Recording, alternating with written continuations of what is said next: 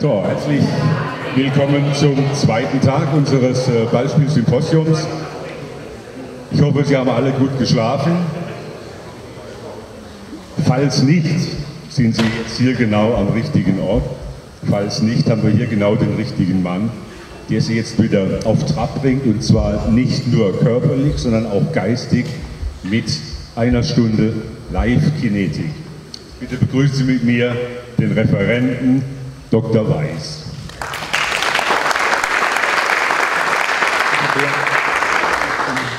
Ich bin verkabelt. Einen wunderschönen guten Morgen. Für die, die so ein bisschen abseits stehen, einfach reinkommen hier in die Halle, in die Mitte rein. Für die, die sitzen, bitte aufstehen. Ihr habt genug gelegen. Für die, die oben sitzen, bitte runterkommen. Live-Kinetik ist was zum Mitmachen, für jeden in jedem Alter, nicht gefährlich und jeder kann davon profitieren. Kommt einfach ein bisschen vor. In der Schule ist es auch so, in der letzten Reihe ist es immer am besten. Hier kommt auch noch ein bisschen ran hier. Die Kamera stört nicht. Es kommt alles in YouTube und wo auch immer. Kommt noch ein bisschen her. Kommt noch ein bisschen her. Jeder hat zwei Bälle. Jeder hat zwei Bälle in der Hand. Den roten und den gelben.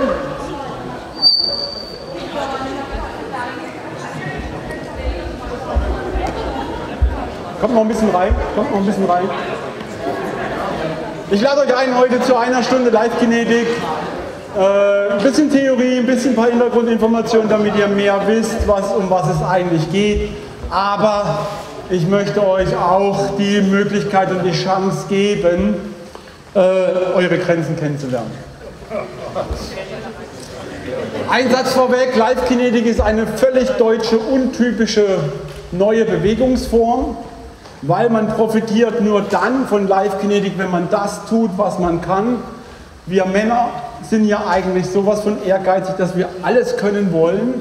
Und das ist das Negative an Live-Kinetik. In dem Moment, wo ich es kann, muss ich was Neues machen. Okay, ihr nehmt einen Ball, von mir ist den roten und den gelben. Ihr braucht ein bisschen mehr Platz. Kommt rein, kommt rein. Ich beiße nicht, ich beiße nicht. Alles. Ein Ball einfach so jonglieren.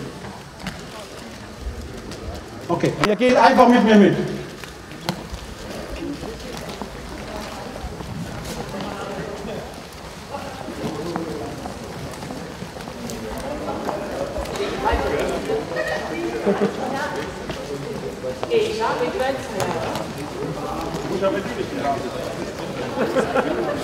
Okay, super, das klappt schon ganz gut. Ups, hier muss ich ein bisschen weg. Jetzt seid ihr alle wach. Jetzt sage ich das einfach. Weiter werfen, ihr nehmt jetzt mal die andere Hand. Die andere Hand, ihr müsst so ein bisschen zu mir stehen. Also Blickrichtung in die Wand hier. Blickrichtung hier. Okay, weiter geht's.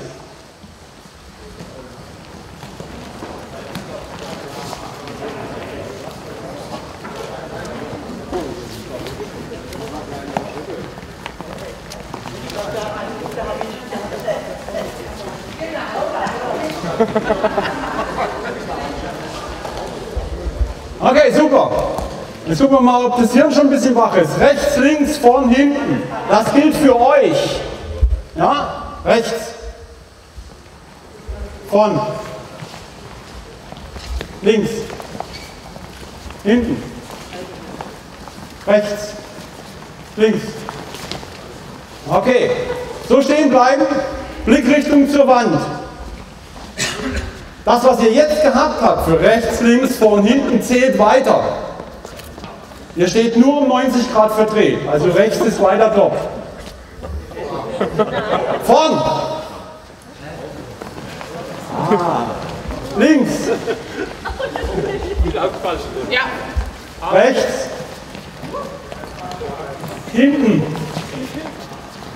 Hey, ihr seid perfekt, super! Dankeschön. Wieder Blickrichtung zu mir. Ist hier. Grün ist da drüben. Gelb ist hier. Blau ist hier. Okay? Immer weiterlaufen.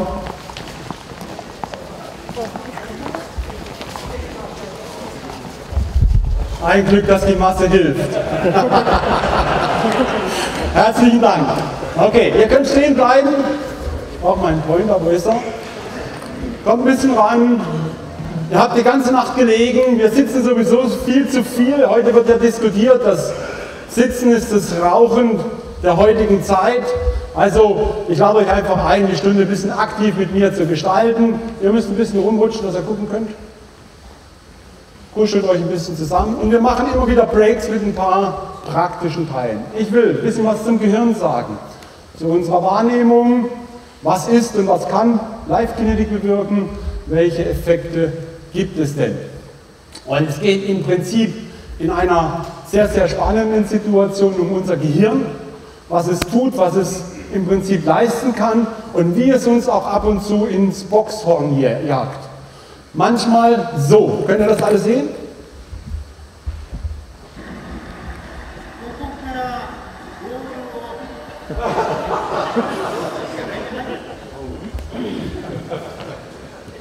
Alles schon passiert? Ein nächstes kleines Beispiel. Nézzük, Takács Zoltán és Semők Zsolt egymással szemben.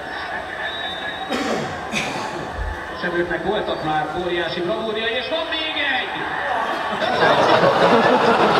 Ez hihetetlen! Ez hihetetlen! Ez nem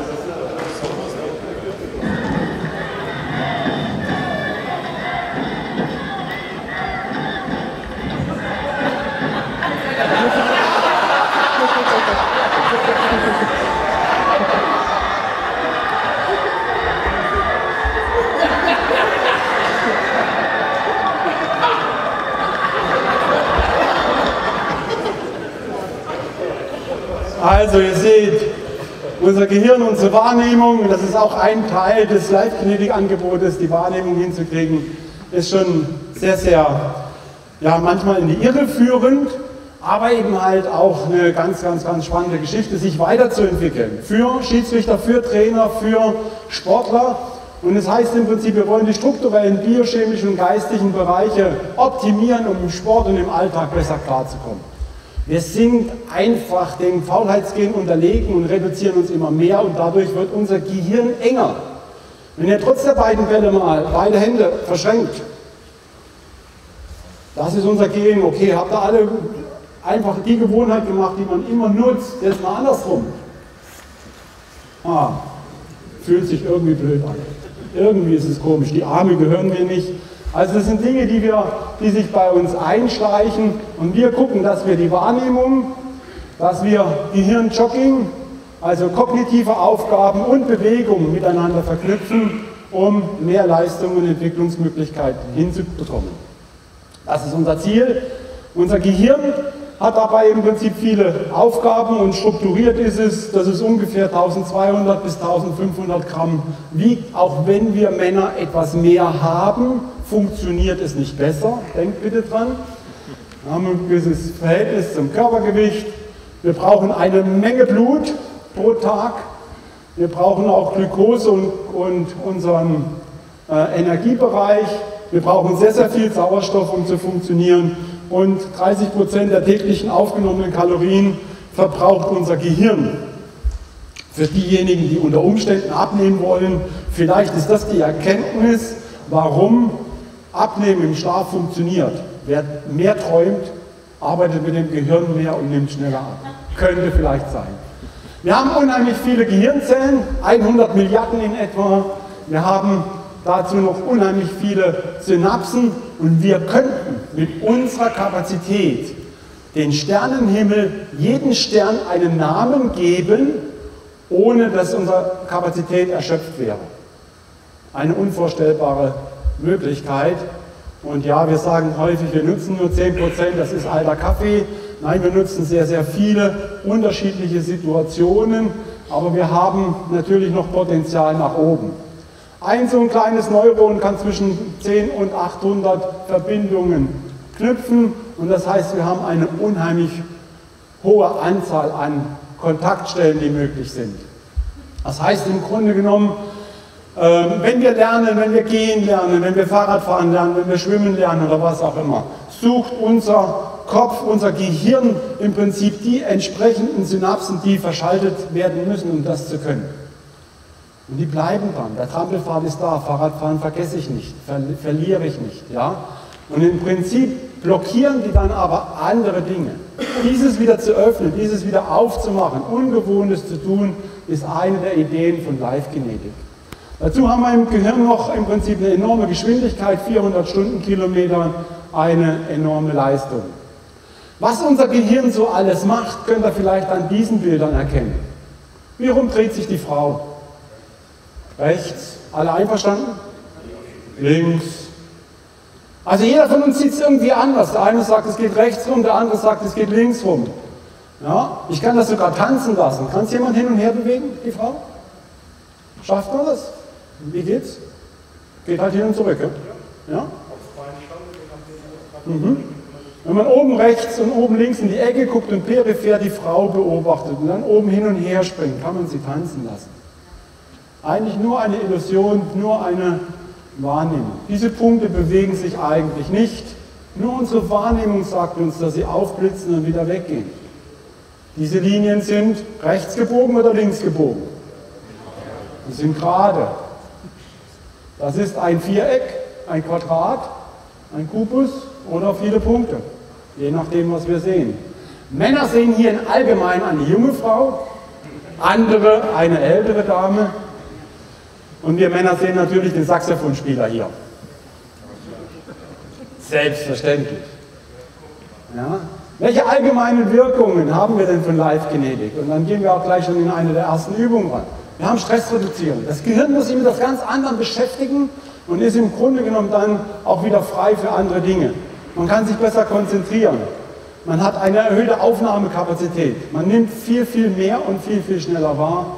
Man hat durch die körperliche Bewegung Entspannung. Man hat mehr Selbstbewusstsein und selbstständiges Arbeiten und die Produktivität nehmen zu. Die Bausteine sind auf einmal Trainingslehre, Bewegungslehre, sind auf zweites die funktionelle Anatomie, ich muss wissen, was ich mit dem Körper tue, moderne Gehirnforschung und nicht zu guter Letzt funktionelle Optometrie. Das heißt zum Beispiel, dass ich auch im Sport, ähm, an der Stelle sei erwähnt, dass der Entwickler der ganzen Geschichte Horst Lutz ist. Horst Lutz kommt von 1860 München, hat sich jetzt selbstständig gemacht und trainiert im Prinzip fast in allen Bundesliga-Clubs. Mit den Top-Mannschaften und auch mit den Nachwuchsmannschaften, mit seinem Trainerteam, um hier im Grunde genommen die optimale Situation für äh, die der Entwicklung herauszuholen. Funktionelle Optometrie ist zum Beispiel auch so ein Thema, das dominante oder das nicht dominante Auge zu erkennen. Wer kennt sein dominantes Auge? Kommen ein paar. Die anderen wollt ihr es wissen? Was es hilft. Ihr sucht euch an der gegenüberliegenden Wand ein kleines, einen kleinen markanten Fleck. Die 9 zum Beispiel oder das S von der Sparkasse da oben. Das ist die Sparda-Bank, ich weiß. Den Basketballkorb oder sowas. Ihr legt, müsst die Bälle kurz einstecken oder weglegen. Ihr nehmt beide Arme gestreckt, legt sich so übereinander die Hände, dass ihr so ein kleines Dreieck von 4 x 4, 5 x 5 cm habt. Ihr stellt euch gerade hin, ihr schaut einfach auf äh, euer ausgewähltes Punkt, aus den, auf das Logo oder sowas, nehmt beide Arme hoch und guckt auf diesen Punkt. Ihr müsst ihn mit beiden Augen sehen. Wenn ihr das habt, schließt ihr im Prinzip ein Auge, bleibt der Punkt, ist es euer dominantes Auge.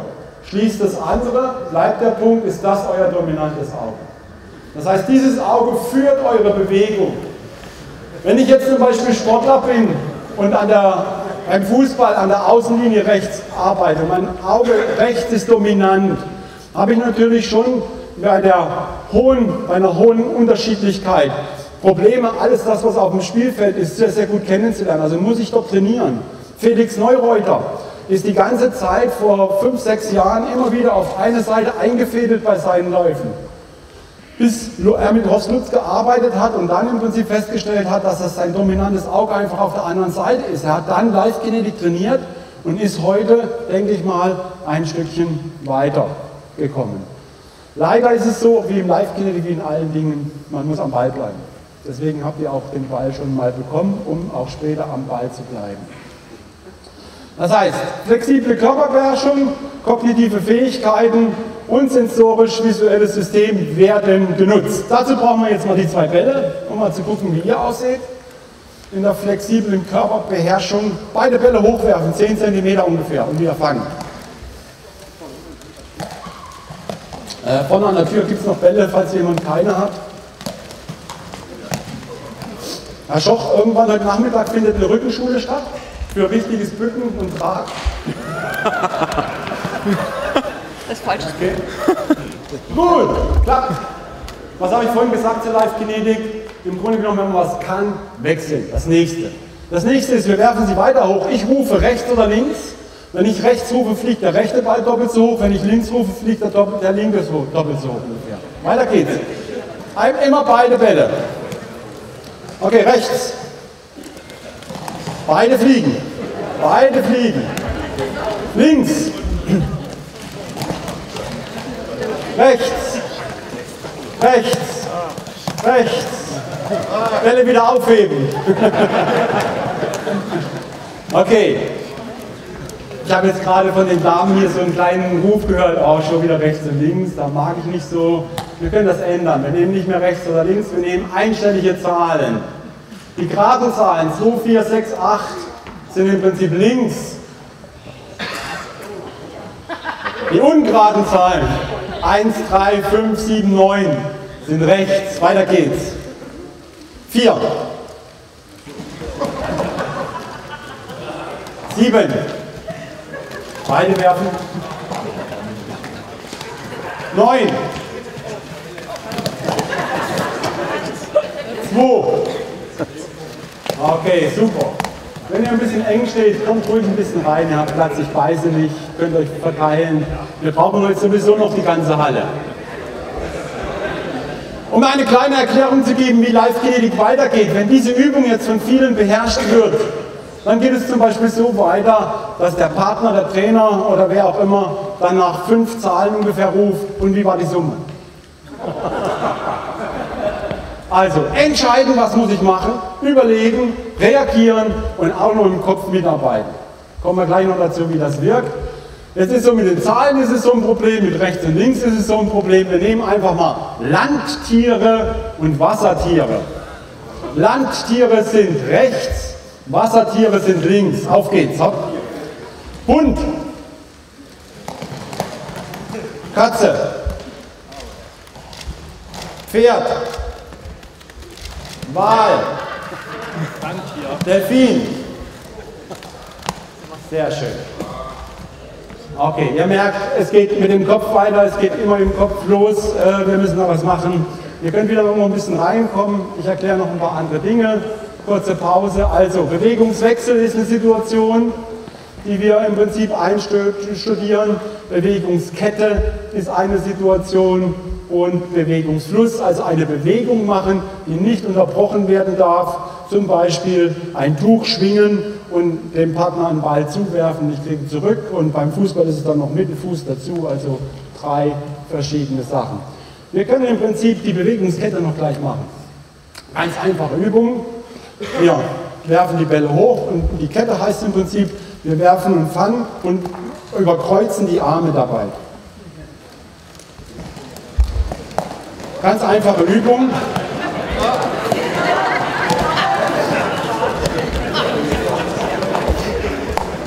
Okay, mal ganz kurz Stopp. Ganz kurz Stopp. Muss ich nochmal erklären, ich habe es zu schnell vorgemacht. Ich habe nicht so gezeigt. Und ich habe auch nicht so gezeigt oder sowas, sondern hier nochmal hoch und runter werfen, also hochwerfen und fangen, Hände kreuzen, Hände kreuzen, Hände kreuzen.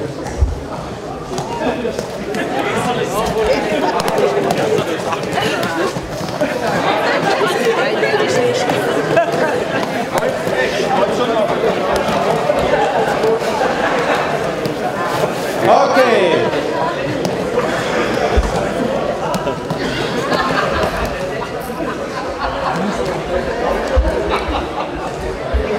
Sind seine besser? Bitte? Ja, da können wir tauschen, wenn die unterschiedlich schwer sind. Besser? Zeig mal. Okay, es liegt nicht an den Bällen. es liegt definitiv nicht an den Bällen. Ich erkläre gleich, warum das uns so viel Schwierigkeiten macht und Zwei Sachen sind jetzt eigentlich aufgetreten. Erstens, euer Gehirn, wenn man euch in die Gesichter geguckt hat, hat gearbeitet wie Sau. Wieso kann ich das nicht? Bin ich denn deppert? Was ist jetzt hier eigentlich los? Wie kriege ich das hin? Und ohne dass ihr denkt, wie kann ich das machen, arbeitet das Gehirn schon. Das sucht schon wieder den Weg, das sucht die Synapsen, woran liegt das, wie kann ich das lösen und so weiter und so fort. Das Zweite ist, ich habe keinen gesehen, der nicht gelacht hat. Entweder über den Partner, ach Gott sei Dank, der stellt sich genauso an, oder aber über sich selber. Und was passiert beim Lachen? Wir schütten Dopamin aus, es macht Spaß. Und ich kann viel, viel besser lernen und mich weiterentwickeln. Was die Grundlage ist, einmal nur das synaptische Modell. Es ist nur ein Modell und es stimmt mit den wissenschaftlichen Erkenntnissen in der Hirnforschung nicht mehr überein, aber wir bedienen uns einfach diesen Modells, des Modells. Wir haben eine rechte und eine linke Seite. Das hat euch jetzt eben Schwierigkeiten gemacht, weil rechtes Auge sieht rechten Arm auf der linken Seite und sagt, er gehört da gar nicht hin. Ja, also das sind im Prinzip die rechte, die linke Seite, die obere und die untere Seite und vorne und hinten. In diese acht Oktanten, die dadurch entstehen, unterteilen wir die Trainingsaufgaben. Unser Ziel ist es jetzt, mit allen uns zur Verfügung stehenden Möglichkeiten zu gucken, ah, das kann er, gut, okay, dann ist es nicht so schlimm, jetzt müssen wir eigentlich die untere Seite mit dazu nehmen und wir nehmen im Prinzip Steps dazu. Ja? und gucken halt, wie wir das jetzt hinkriegen. Ja? Wenn ich die untere Seite dazu genommen habe, könnte ich halt wieder irgendeine kognitive Situation mit dazu nehmen. Das heißt, wir haben einmal die Lateralität seitlich, äh, linke und rechte Gehirnhälfte, wir haben die Bewegungsmittellinie, vorderer und Hinterhirn und wir haben eine Zentrierung mit den Körperhälften, oberer und unterer Gehirnbereich. Hier gehen wir mit bestimmten kognitiven, motorischen und visuell wahrnehmbaren Situationen einher. Wir gucken im Prinzip, wie wir bestimmte Dinge zu den einzelnen Oktanten zuordnen können und dann zusätzlich zu einer motorischen Aufgabe abrufen. Viele aus dem Sportbereich sagen, ach, Leichtkinetik ist doch auch nur Koordinationstraining. Nee, das Hirn muss mit dazu. Das Hirn ist ganz, ganz wichtig. Wir haben eine Fokussierung vorne und hinten, das ist zum Beispiel aktives Denken oder die Intuition oder die Wahrnehmung, Ausdruck. Und wir haben die Zentrierung, auch hier Kontrolle, Planung, Denken oder Gefühl und automatische Automatismen und Reflexe. Wie funktioniert das Zusammenspiel der Gehirne? Schaut ihr? Ist ein bisschen herkommen, ich kann es nicht lauter machen. Kurzschlüsse zieht auch Ihr Gehirn ständig. Ganz ehrlich, sind Ihnen die leeren Bierflaschen auf dem Kühlschrank in meinem Kreuzberger Atelier Beim Video kommt ihr alle. Finden Sie meine Bilder vielleicht auch ein bisschen bunt? Bin ich Ihnen eher sympathisch oder suspekt? Auch wenn Ihnen gerade nicht schwindelig ist, während Sie diesem Programm zuschauen, verarbeitet Ihr Gehirn weit mehr Informationen, als Ihr Bewusstsein mitbekommt. Jeder von Ihnen sieht und hört etwas anderes nämlich das, was Ihr Gehirn aus den eingehenden Signalen herausfiltert. Natürlich arbeiten dieselben Filter auch in meinem Kopf und Sie können sich das anschauen, weil man mich für diese Reihe in einen Tomographen geschoben und die Daten animiert hat. Was Sie sehen, ist also wirklich mein Gehirn. Mein Rückenmark endet im Stammhirn, darüber der Knubbel meines Kleinhirns, darüber die Großhirnrinde, Sitz meines Bewusstseins und im Inneren das limbische System, Sitz meiner Gefühle. Aus dem Stirnlappen der Großhirnrinde kommen alle Ideen, Pläne, komplexe Sprache und mein Gewissen. Teile des Schläfenlappens verwalten mein Langzeitgedächtnis und sagen mir, wer ich bin. Der Scheitellappen koordiniert gezielte Bewegungen. Hinterhaut und Schläfenlappen analysieren, was ich sehe und höre. Was man neurobiologisch herausgefunden hat, ist, dass Kreativität im Wesentlichen eine Funktion von neuronalen Netzwerken im Stirnhirn ist und dass diese Netzwerke sehr stark von dem anregenden Stoff Dopamin abhängen. Je höher der Dopaminstoffwechsel in diesen Stirnhirnnetzwerken, desto kreativer werden Leute. Das lässt sich relativ einfach erklären, dadurch, dass diese Stirnhirnnetzwerke Zugriff zum Langzeitgedächtnis haben, das woanders im hinteren Teil des Gehirns sitzt. Das heißt, Ideen, Inhalte, Vorstellungen, die vorher unverbunden waren, werden jetzt im angeregteren Zustand zusammengebracht. Ideen, die niemand vorher gedacht hat, werden jetzt gedacht. Ob Tierfiguren oder Gitarrenriffs, Letztlich bestimmt unser Gehirn, wofür wir uns begeistern oder nicht. Denn es kalkuliert immer voraus, ob sich die Mühe überhaupt lohnt. In meinem Gehirn ist es wie bei Ihnen. Tief im Inneren meines Stammhirns sitzen zwei Strukturen, die die Kreativabteilung in der Großhirnrinde mit einem Aufputschmittel auf Trab bringen. Dopamin. Je mehr davon Sie ausschütten, desto quirliger werde ich. Dopaminentzug dagegen macht mich antriebslos. Mit einem Botenstoff prägen diese beiden Strukturen also meine Kreativität und meine Persönlichkeit. Dabei kannte ich bis jetzt nicht mehr ihre Namen. Substantia nigra und ventrales tegmentales Areal. Dieses ventrale tegmentale Areal, das ist sehr interessant, ist gleichzeitig unser Belohnungsregistriersystem. Das schüttet immer Dopamin aus, wenn eine Belohnung erwartet wird.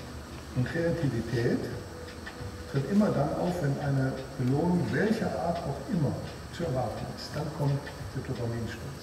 Das heißt, ich bin in Gefahr und wenn ich jetzt sehr kreativ bin, dann überlege ich mir, wie ich aus der Gefahr rauskomme. Und ich will einen Nobelpreis haben, und dann überlege ich mir, wie ich den am besten kriege. Oder ich will viel Geld verdienen, oder ich will eine tolle Sinfonie schreiben. Und dann kommt, je nach Begabung, der Dopaminstoß und dann fangen man Netzwerke an, Dinge zu tun, die sie vorher nicht getan haben. Also, Dopamin, eine ganz, ganz wichtige Geschichte. Die Damen wissen sicherlich besser als ich, aber ich bin auch eine Naschkatze, wie man Dopamin noch kriegt. Man belohnt sich einfach mit Schokolade. Ist halt für den Hüftgürtel immer so ein bisschen eine Problematik. Äh, natürlich ist das so eine Situation, mit der wir da einiges machen können. Aber im Prinzip, Bewegung fördert unsere Intelligenz, Bewegung macht Spaß, verbessert im Prinzip unsere ganzen Situationen.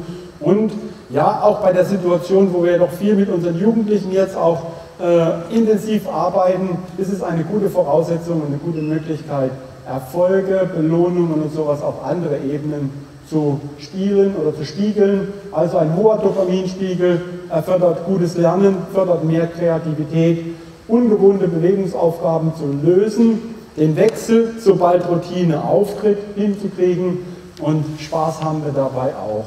Das ist im Prinzip nichts anderes als Live-Kinetik. Ihr braucht einen Partner. Sucht euch einen Partner. Wir zählen nicht ab. Ihr solltet ungefähr drei Meter auseinander stehen und ihr braucht nur einen der vier Bälle. Janis, Janis, nicht der Emotion. Okay, eure Aufgabe ist folgende. Ich es mit Janis. Wir werfen uns den Ball zu. Ich rufe rechts oder links. Janis ist Handballer. er fängt den Ball mit rechts oder links und muss das diagonale Bein nach vorne stellen. Also rechts, das war links. Bist du links oder nicht? Rechts. Okay. Also auch Handballer können Live-Kinetik profitieren. Rechts. Sehr gut. Links. Jetzt hat er. Okay, probier das aus. Ich will was sagen. Ich schweige, ich jetzt sagen.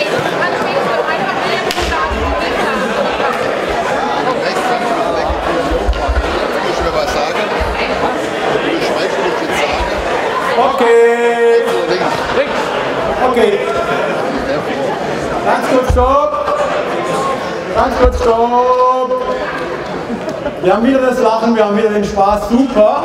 Aber ihr kommt natürlich ein bisschen in Schwulitäten, weil es halt einfach zu eng. Wir haben die ganze Halle. Macht euch ein bisschen Platz, damit ihr nicht rechts und links neben euch hört. Verteilt euch ein bisschen, ihr hört mich auf jeden Fall. Ich bleibe bei euch. Und macht mal weiter. Rechts und links. Bleibt bestehen.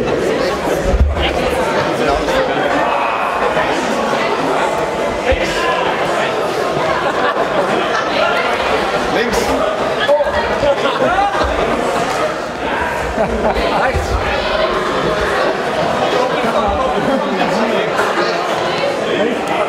Okay. Dankeschön, erstmal. Zwei, drei Sachen. Wenn ihr die Übung korrekt machen wollt. Hallo, hallo, hallo. Wir sind relativ viele. Wir kriegen ein bisschen besser hin, wenn ihr auch aufs Kommando hört. wie beim Pfiff. Ich habe leider keine Grillerpfeife dabei, weil ich weiß, irgendwie sind viele Schiedsrichter unter uns. Das würde vielleicht dann besser funktionieren. Einfach aufhören und dann, es kommt noch genug Spaß dabei. Also, eine Sache nochmal, rechts und links ist entscheidend, ist wichtig, aber jetzt bitte nicht springen, sondern wirklich aktiv einen, das eine Bein nur nach, nach vorne setzen. Das ist deswegen wichtig, weil wir die Lateralität brauchen. Ja, wenn ich jetzt springe, habe ich den Impuls auf beiden Beinen. Ich brauche ihn aber im Prinzip diagonal. Und da das jetzt im Prinzip für viele schon wieder viel zu einfach war, nehmen wir die Zahlen von vorhin. Ihr müsst noch nicht rechnen, kommt später. Ja? Also, einstellige gerade Zahlen, 2, 4, 6, 8, sind links.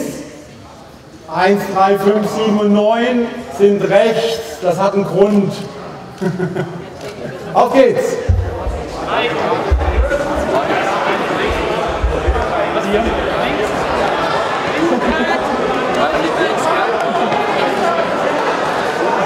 Genau genug.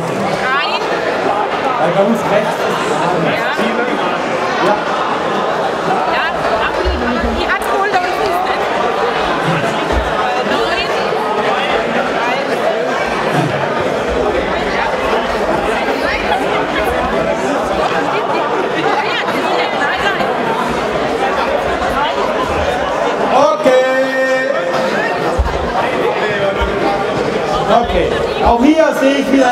Vielen Gesichtern, dass der Computer rattert. Der rattert und rattert und rattert. Aber es geht mir heute auch eigentlich darum, dass ihr im Grunde genommen diese Levels alle durchgeht oder so. Ich will es euch nur mal zeigen, was alles kommen kann in so einem Kurs Live-Genetik, der so etwa eine Stunde geht und einmal pro Woche mindestens so gemacht werden muss, dass die Synapse glüht oder die Synapsen glühen. Wir nehmen die Landtiere und die Wassertiere. Und ihr achtet bitte auf Folgendes. An welcher Stelle, an der ersten schon, an der zweiten, dritten, vierten oder fünften, fallen euch keine Tiere mehr ein? Achtet mal drauf. Also Landtiere rechts, Wassertiere links. Und ihr sollt nicht rufen, Wassertier.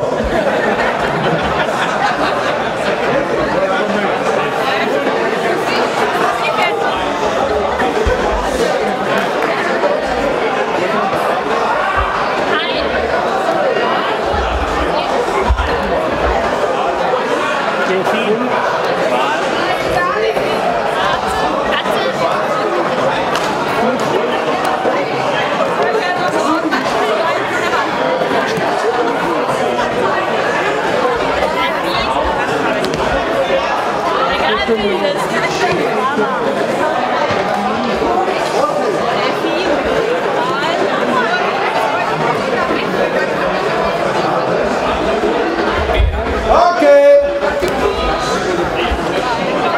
Ein Glück. Ein Glück ist das ja bei uns, dass so viele ringsherum sind und man Beispiele hört, auf die man zurückgreifen kann. In aller Regel ist nach zwei, drei Sachen Schluss. Habt ihr noch eine Stufe? Okay. Erstens nochmal bitte dran denken, nicht springen, ja? Wir nehmen vier Kommandos ins Repertoire. Rechts und links und wir nehmen äh, die Zahlen dazu. Ihr dürft nur ein Kommando rufen. Entweder rechts oder links oder zwei oder sieben. Ja, also ihr habt vier Kommandos. Wenn ich jetzt zu dir den Ball werfen würde und ich würde sagen rechts, dann zählt das für die Hände. Rechts fangen, links vorstellen. Links fangen. Wenn du rufst zwei, wenn ich rufe zwei oder sieben oder sowas, heißt das zwei, äh, links, linkes Bein vorstellen, rechte Hand fangen. Und dann noch eins. Bitte nicht so. Rechts.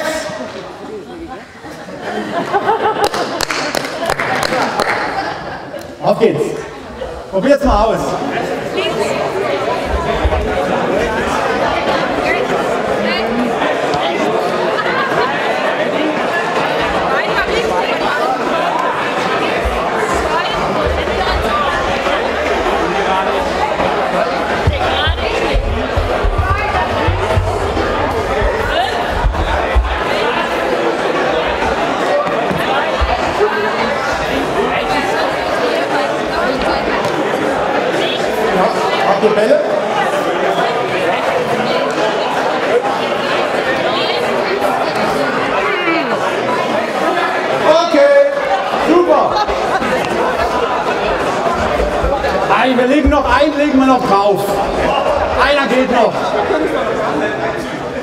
Und was ist das Gute dran? Dein Profit, dein Profit ist super, weil du das machst, was du nicht kannst. Dein Gehirn arbeitet wie Sau. Also, ihr nehmt bitte alle vier Bälle und einer nimmt alle vier Bälle. Wir nehmen eine ganz einfache Version wieder und zwar die Version mit den Zahlen. 2, 4, 6, 8, 1, 3, 5, 7, 9. Ein Partner wirft in schneller Folge die vier Bälle. Wenn ihr die Bälle fangt, lasst ihr sie fallen. Fangt den nächsten. Fallen lassen den nächsten. Fallen lassen den. Vier Stück sind es nur.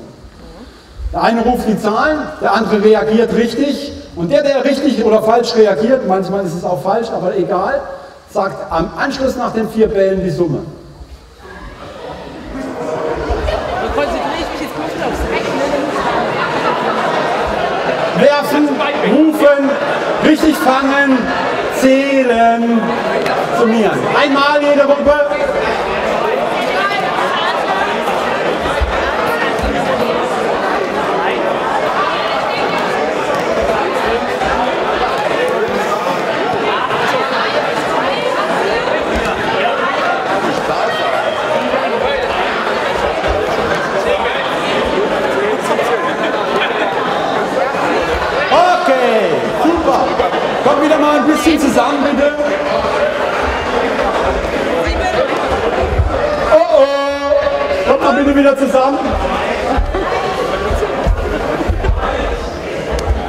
Also das war ist nur ein kleiner Ausschnitt, wo das hingeht, wenn ich irgendwie ein Level erreicht habe. Wenn ich irgendwas geschafft habe, wenn ich geschafft heißt, wenn ich so sechs bis acht Wiederholungen richtig mache, dann geht es sofort in die nächste Übung. Weil wir profitieren nicht mehr davon, wenn wir das tun, was wir können. Wichtig ist nochmal eine ganz kleine Situation. Wir sind in der Lage, ungefähr pro Einheit sieben plus minus zwei Reize aufzunehmen. Mehr nehmen wir gar nicht wahr. Und es ist für uns unheimlich wichtig, dass wir schnell aus dem Ultra-Kurzzeitgedächtnis was nach hinten schieben können. Weil wir, wenn wir viele äh, Sachen sehen mit Stämmen und Blättern drauf, dann wissen wir, dass es ein Baum ist, dann muss es raus, damit ich auch noch erkennen kann, ist es eine Eiche oder ist es eine Buche. Und das ist im Prinzip so eine Situation, die ihr jetzt gemerkt habt, die man mit den Bällen, mit verschiedenen anderen Übungen so provozieren kann, dass ich da eben halt wirklich intensivst arbeiten muss. Und unser Gehirn arbeitet und arbeitet. Wie ihr hier erkennen könnt, wissen wir heutzutage nicht, warum wir eine Rechtschreibreform brauchen, weil es ist ja eigentlich egal, wie ich schreibe. Stimmt, oder? Ja. Also, alles Blödsinn. Egal wie man es schreibt, es funktioniert. Okay. Sehbereich ist noch ein Thema. Wir arbeiten sehr viel mit Augenklappen oder mit Binden, äh, äh, um die Sensorik zu schulen. Wir arbeiten mit rot-grünen Wellen und im Prinzip einer rot-grünen Brille aus einem 3D-Cube, so eine ganz kleine Plastikbrille, die sich da einsetzen lässt, um einfach diesen visuellen Bereich zu machen. Da gehe ich jetzt mal drüber hier. Ja, wie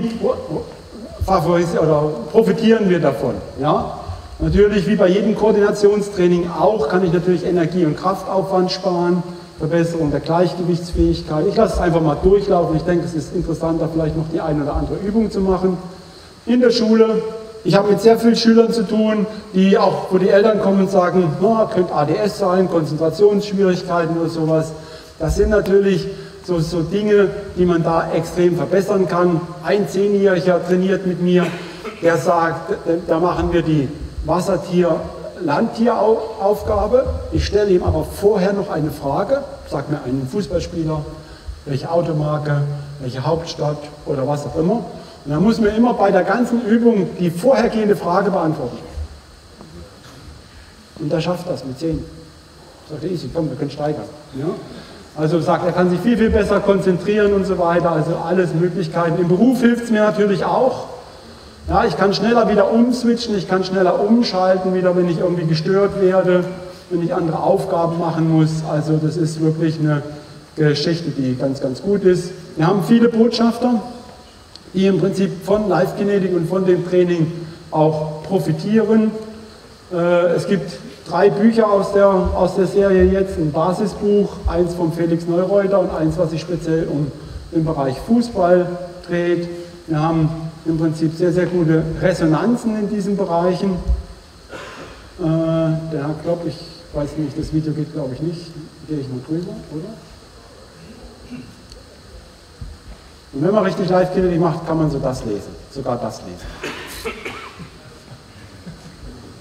Und das ist jetzt nicht mehr mit erste, zweite Buchstabe stimmt.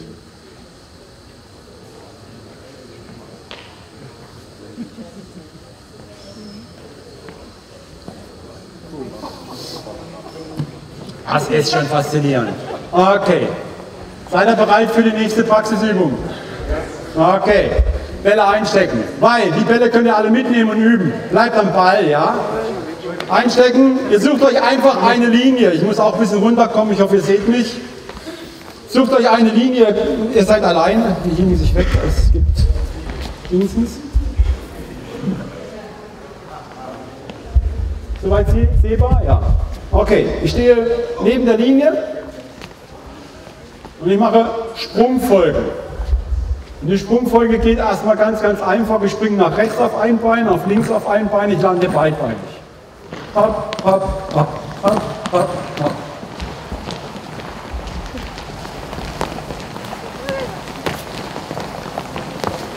Mir ist das ja nicht wirklich. Also, die Linie, die gleiche. Okay, sieht gut aus. Wichtig ist jetzt, dass ich jedes Mal über die Linie drüber komme und nicht in der Mitte bleibe und Slalom fahre. Ja? Und wichtig ist jetzt nochmal, dass ich nicht bei dem Doppelsprung so hintereinander lande, sondern dass ich wirklich mit beiden Beinen gleichzeitig lande. Nochmal probieren, ein paar Sprünge.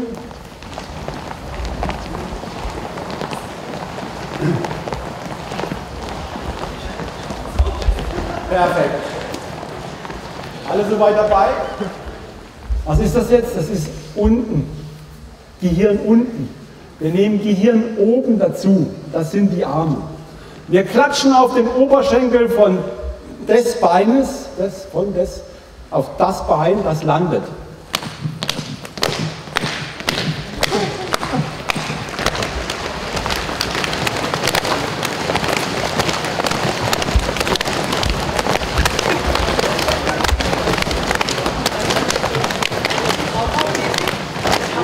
Perfekt. Sehr gut. Kriegt das auch anders hin. Wir, landen, wir schlagen auf das Bein, das nicht landet, außer auf beiden. Wenn beide landen, dann auf beide. Probiert es mal aus.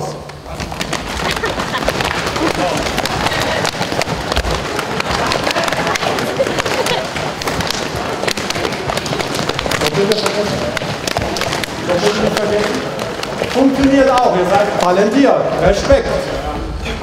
Aber wir würden ein Armutszeugnis haben, wenn wir nicht einen draufsetzen können.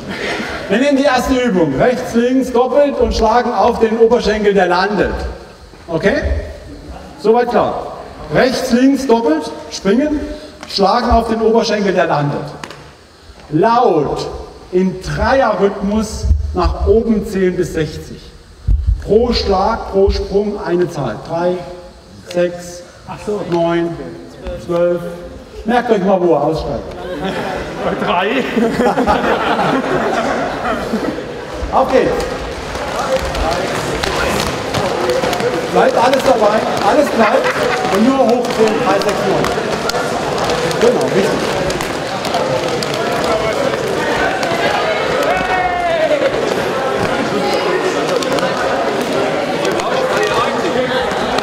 Okay, wer es geschafft hat, rückwärts. Und 60 runter. 60.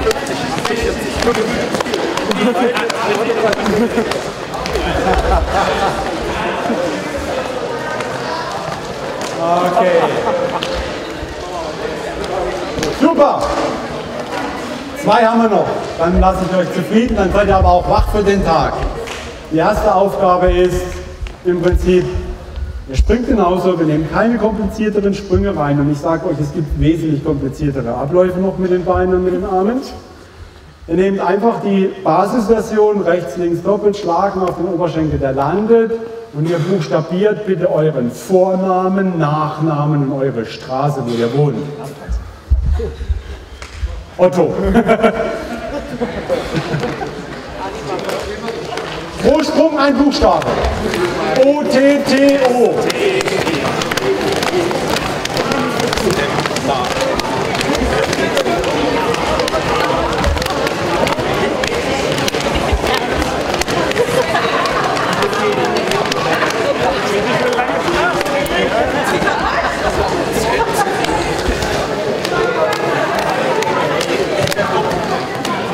Okay.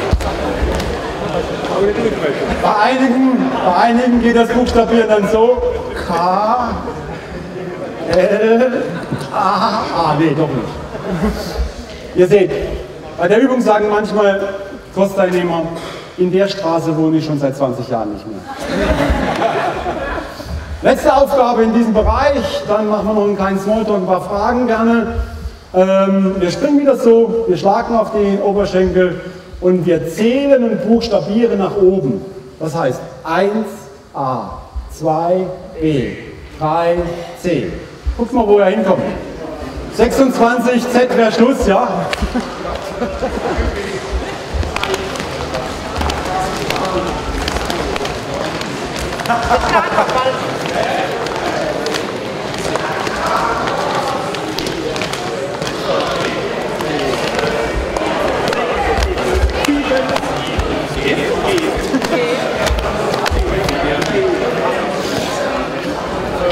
Okay, super. Kommt einfach wieder ein bisschen dichter zusammen noch. Einfach ein bisschen ranrutschen hier.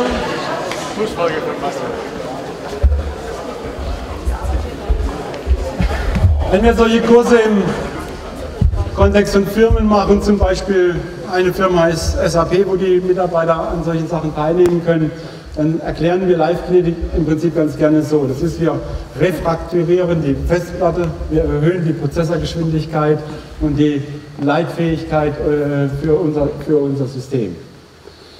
Das sind so ein paar Ideen aus Live-Kinetik. Ähm, ihr seht hier das, äh, das, die Ausstattung. Es gibt dazu noch dann ähm, Farbkarten, wo blau, grün, rot, gelb draufsteht, aber in einer anderen Farbe und ich entscheide, okay, muss ich mich auf die Farbe konzentrieren oder auf, den, auf das Wort, was ich sehe. Viele solche Accessoires werden hier eingesetzt und genutzt. Kann man Live-Kinetik lernen? Ja, man braucht auf der einen Seite einen kleinen Trainer, der einem das ein bisschen ordentlich beibringt. Man kann auch heutzutage Lizenzen machen auch an, an, an die Region hier die Möglichkeit, vorne liegen Informationen aus. Es gibt den Vereinscoach, es gibt den Kita-Coach, es gibt aber auch den Personal Trainer in, in diesem Bereich, eine unterschiedlich gestufte Ausbildungsmöglichkeit, auch eine Möglichkeit, wenn sich genügend Interessenten finden, sowas hier vor Ort mal zu machen. Man braucht ungefähr vier Tage für die Gesamtausbildung. Ähm, man geht durch alle Bereiche, durch alle Übungsformen, durch alle Dinge durch und kann dann im Prinzip auch Live-Kinetik weiter in die Welt hineintragen. Man profitiert. Ich finde, eins habt ihr auf jeden Fall jetzt mitgenommen, ihr seid wach. Das zweite ist, ihr habt eine Dreiviertelstunde gut gelacht und gut zu tun gehabt. Die Synapsen glühen ein bisschen und ich stehe ganz gerne und euch auch noch für Fragen zur Verfügung. Da vorne liegt ein Mikro, falls wir das nicht hören können. Äh, Feuer frei. Ja. Äh, ab welchem Alter ist es bei Kindern sinnvoll anzufangen? Gibt es da eine Grenze? Oder? Ich würde sagen, Bälle fangen ist schon gut. Ja, und ich kann jetzt nicht sagen, fängt ein Junge ab fünf Bälle oder ab sieben erst oder ja. Das wäre im Prinzip so eine Möglichkeit. Ich kann das aber beim Kita-Coach auch adaptieren. Ich so aus dem Sport komme da nicht so ganz gut klar damit. Bei mir müssen Bälle dabei sein. Okay? Noch Fragen? Ja? Umgekehrt gibt es im Alter nach oben Einstellungen, wo es nicht mehr so lernfähig ist. Nein. Nein. Bis ins hohe Alter, das gibt es auch für Senioren in den, in den Seniorenheimen. Der, der, Vorteil ist im Grunde genommen, im Augenblick findet in den Seniorenheimen und in den Pflegeheimen so, okay, wir stellen dir mal ein Sudoku hin. Lösen wir ein Sudoku. Und das habt ihr jetzt, glaube ich, verstanden. Das ist nur die Hälfte der Wahrheit. Ich brauche die Motorik, weil unsere genetische Disposition ist noch Urzeitmensch. Wir sind nicht Kopfmensch. Ja? Und das heißt, ich, ich brauche die Bewegung dazu. Natürlich gibt es auch koordinative Aufgaben mit einer Hockergymnastik und sowas. Aber insgesamt kann ich nur sagen, Hirnleistung, kognitive Leistung, Wahrnehmungsleistung plus Motorik ist der Schlüssel. Zusammen. Ja. Das sind ja alle reine Büro-Sitzstuhltätigkeiten eigentlich kontraproduktiv, oder? Kann man so Für unser Hirn. Ja. Definitiv. Bewegungsmangel ist einer unserer Killer. Ja? Deswegen, wir sagen ja, äh, acht Stunden sitzen am Tag, kannst auch eine Schachtel rauchen. Ja? Das ist genauso. Ja, die Sterblichkeitsrate bei über acht Stunden verdoppelt sich. Ja? Und deshalb her, wir gehen als, ich habe selber ein Unternehmen, das in Betrieben, ein Unternehmen sehr viel aktiv ist. Wir gehen rein, wir machen aktive Pause, wir holen die Menschen von den Schreibtischen weg und arbeiten mit ihnen. Noch Fragen? Die Damen. Alles möglich, außer rechts und links. Das sagt das andere links, ne? Das andere links, das geht dann. Ne? Okay. Wie lange sollte man das trainieren? Man braucht äh, im Prinzip eine Situation, äh, dafür plädiere ich auch, dass man so zweimal 20 Minuten Blöcke macht, damit die Synapsen auch ins Glühen kommen. Wenn ich einmal so fünf Minuten so ein bisschen habe ich vielleicht einen Break oder sowas, aber dann glühen die Synapsen nicht. Und das sollte man so zehn Wochen eine Stunde lang machen. Dann kann man mal eine Pause machen. Nee, einmal in der Woche reicht. Ja, ja.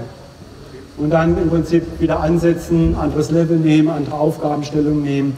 Aber ihr könnt auch jetzt schon anfangen, euer Leben im Grunde genommen als Trainingsfläche zu benutzen. Ungewohnte Dinge tun. Die Maus auf die linke Seite, Zähne putzen mit links, wenn ihr Rechtshänder seid. Ja, mal balancieren, auf ein Bein stehen. Einfach mal Dinge tun, zu denen man sonst nicht kommt. Ja. Äh, in Firmen darf ich das immer nicht sagen, aber wir sind ja hier im privaten Bereich. Auch mal eine Treppe rückwärts runterlaufen. In der Firma kommt gleich der Arbeitssicherheitsinspektor und sagt, oh, das geht gar nicht. Darf man nicht den Fahrstuhl nehmen? Den Fahrstuhl nicht nehmen, richtig. Ja. Also hier einfach immer wieder Sachen ausprobieren, austesten, das Gehirn und auch meinen Körper vor Herausforderungen zu stellen. Und wenn man es halt mal macht und es sieht keiner, ist es auch nicht so schlimm, wenn es nicht funktioniert. Ich darf mich recht herzlich bedanken, wünsche euch noch einen schönen Tag. Ich darf das Wort nochmal an Herrn Schoch übergeben, der noch ein paar hat.